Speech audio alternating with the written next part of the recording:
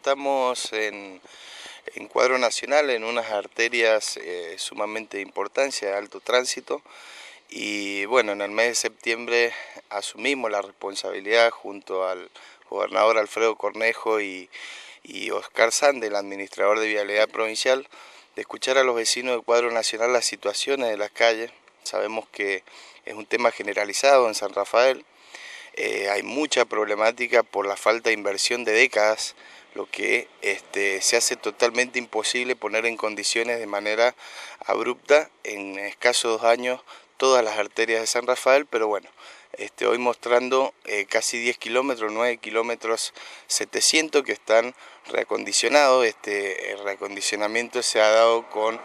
em, el sistema SLARRY, es un microaglomerado que adapta un centímetro, cinco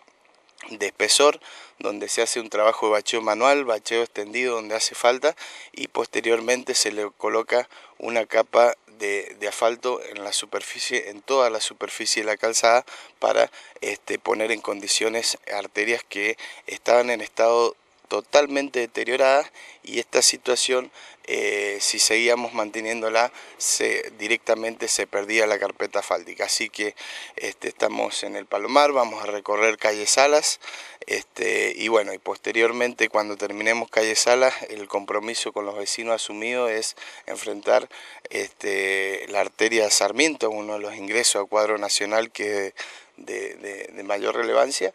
y, poder dejarla transitable para poder este, destinar el equipo del ARRI a otro distrito como nos hemos comprometido. Esto es un trabajo que lo estamos haciendo con administración, con personal de Vialidad Provincial e incluso en equipos que adquirió Vialidad Provincial